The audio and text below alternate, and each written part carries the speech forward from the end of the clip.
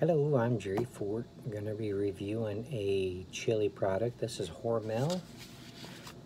Hormel chili, no beans, no artificial ingredients, it says.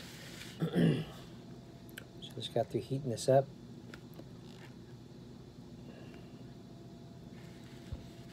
No beans.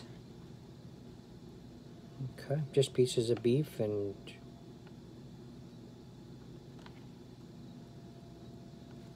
Is that it?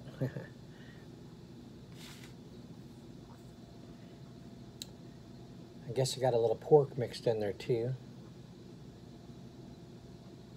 I guess I got oatmeal in there. Corn flour, chili powder. Um, chili powder has chili peppers in it and some flavoring.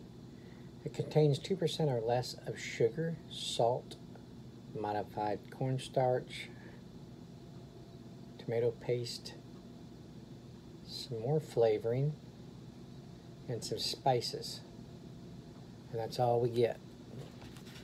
That's all we're told. okay. Well, let's see.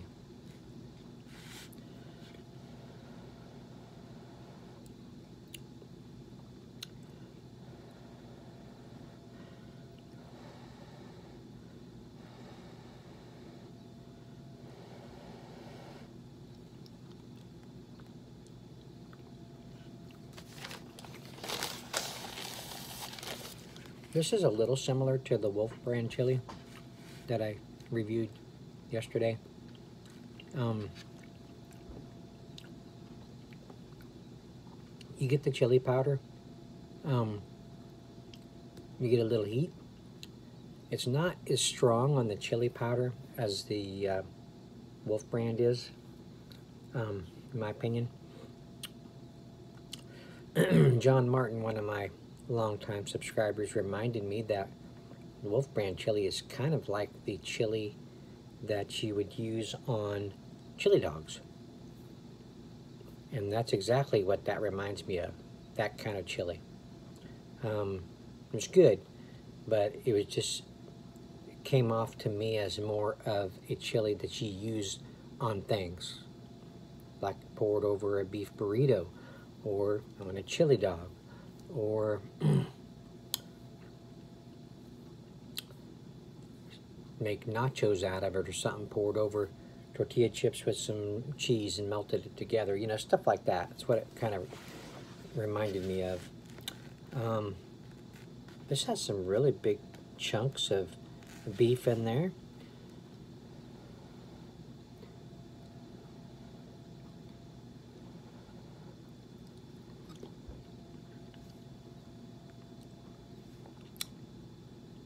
along with the chili powder you get a little garlic powder maybe some paprika slightly salty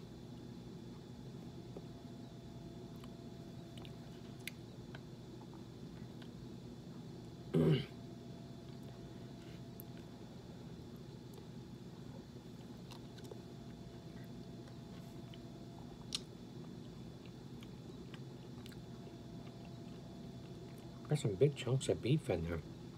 I like that. This one would work on chili dogs as well, for chili dogs. Um, it'd go on a burrito nicely too. Um, yeah, this is really good. It's a little spicier, I think, than the Wolf brand chili that I had yesterday.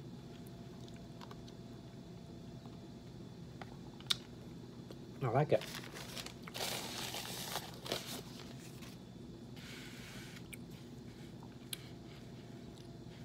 So there you go.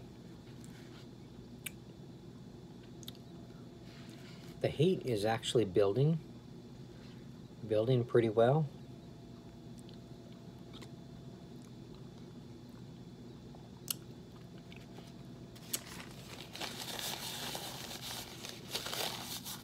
Very flavorful.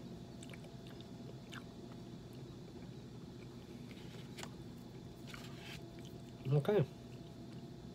Well, I'm going to end it there. Um, can't think of any more to say about it. Flavor wise, um, it's just it's a really good chili.